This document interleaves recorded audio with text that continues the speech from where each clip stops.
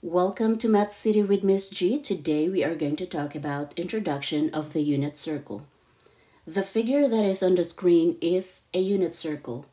It is an important part of trigonometry and can define right angle relationships known as sine, cosine, and tangent. As you continue with higher math courses, you will learn how to put together the unit circle, where these numbers came from. But today, we will use this uh, unit circle as reference and learn how a few numbers came from. Let's start with converting degree and radian measures. So what is a degree? Um, degree numbers, such as number 165 deg degrees. So if you remember, um, we've been talking about right triangle. So this angle here would be any number if we use a protractor and figure out what this measurement would be, so uh, for example, this is somehow close to 45 degrees, which is half of a 90 degrees um, angle. So that part is the 45 degree of a right triangle. So let us focus on the given numbers such as number 165. So we are looking at a formula from degrees to radians. So we will use number of degree times pi over 180. Let's use that to change or convert 65 degrees to radian measure. So first you may make this into a fraction or may not.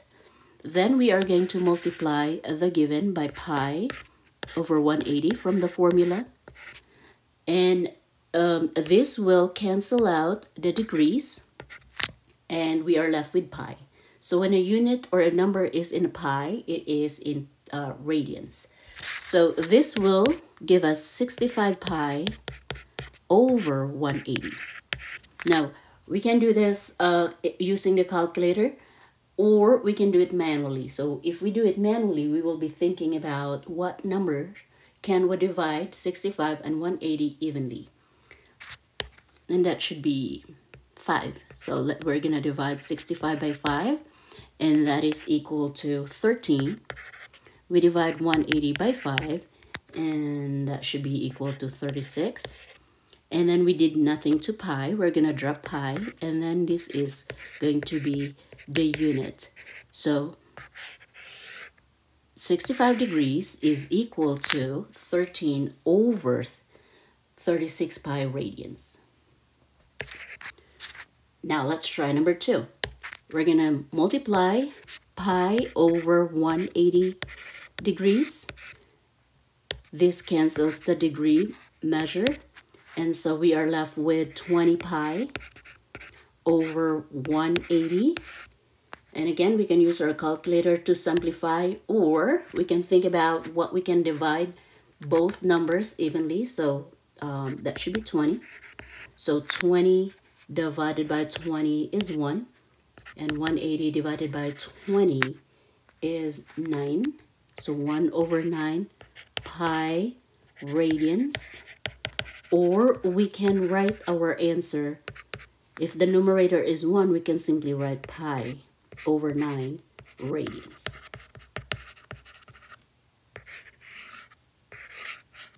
So 20 degrees is equal to pi over 9 radians. Now let's use this information to fill up this chart. So use the unit circle to fill up the chart. So we're going to convert the degree measures on the left hand side into radians. So that's what we are going to do. So 0 degrees times pi over 180, that is equal to 0 radians. And then let's try 30 degrees times pi over 180 degrees. So that would be 30 pi over 180 degrees. Oh, we already canceled the degrees up right here. So degrees should be, not be right there. Erase that part. And so simplifying 30 over 180, that is going to be pi over 6. Now 45 degrees times pi over 180. That'll be 45 pi over 180, which is equal to pi over 4. And then 60 degrees times pi over 180. If we simplify, that would give us pi over 60 radians. And then 90 degrees times pi over 180 degrees.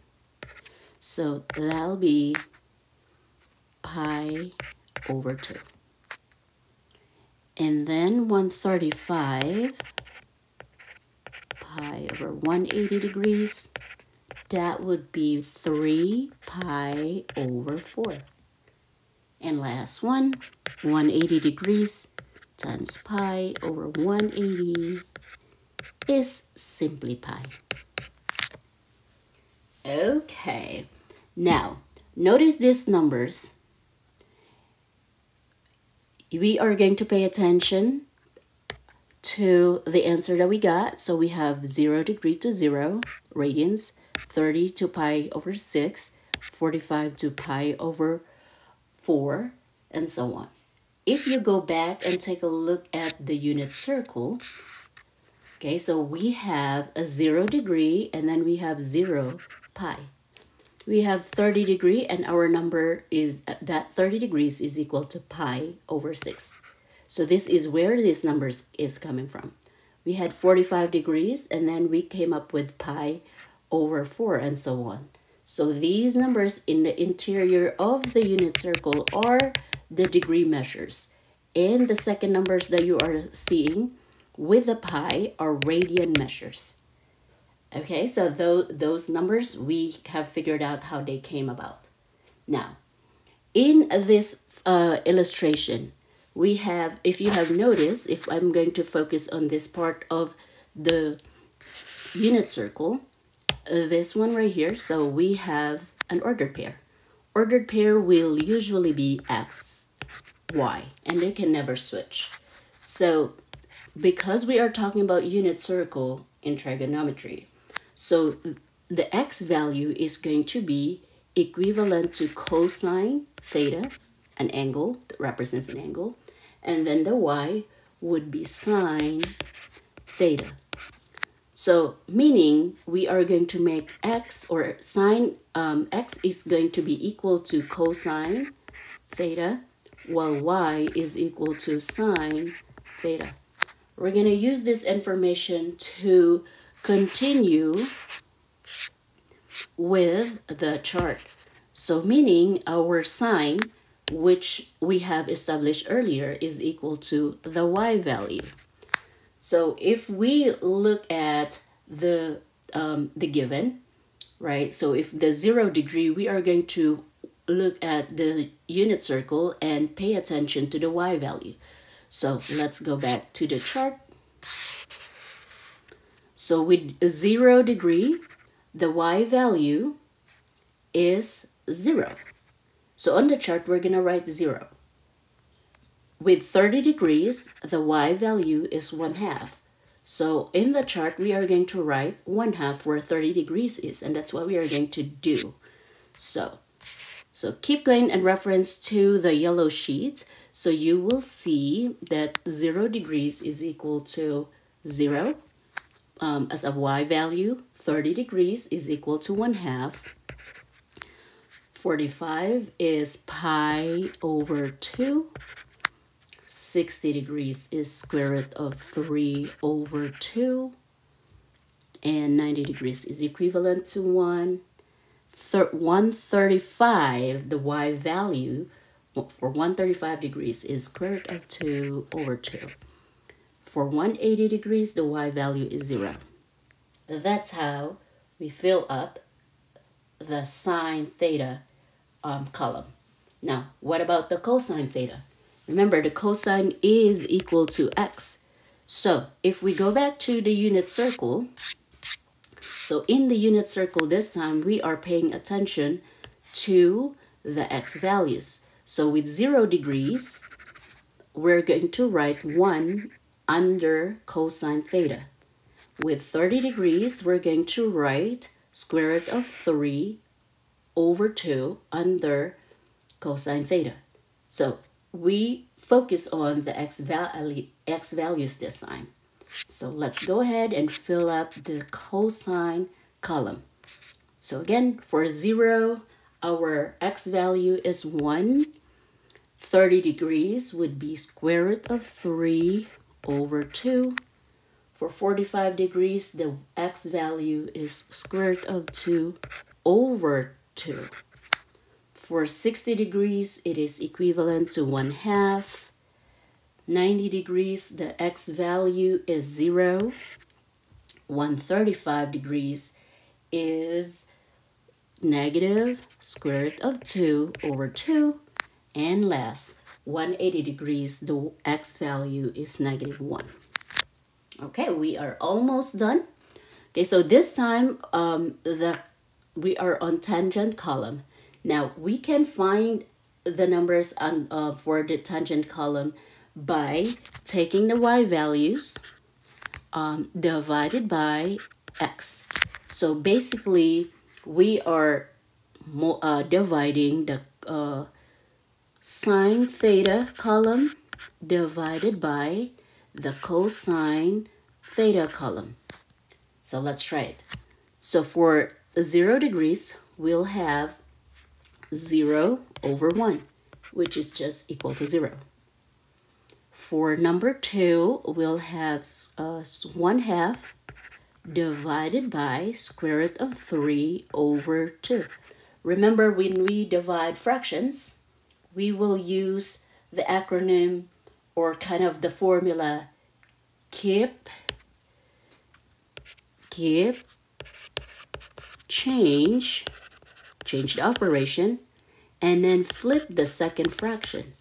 So that's what we are going to do. We keep the first fraction one half, we change the operation into multiplication and then we flip the second fraction into 2 square root of 3.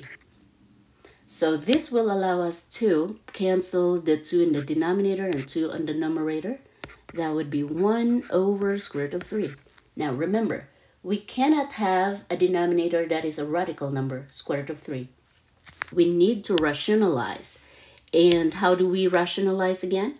We are going to use that exact number in the denominator, square root of 3, and multiply the fraction with 1. But it will be in a form of square root of 3. So times square root of 3 in the numerator divided by square root of 3. So the numerator will be 1 times square root of 3, which is just square root of 3. The bottom would be square root of 3 times square root of 3, and that would be square root of 9. And square root of 9 is a 9 is a perfect square, so that would be equal to 3. So our the bottom number is going to be a 3. That's the reason why we're rationalize, so then the radical symbol will go away. Okay, let's try it again. So for number uh, for 45 degrees, we will have square root of 2 over 2 divided by square root of 2 over 2.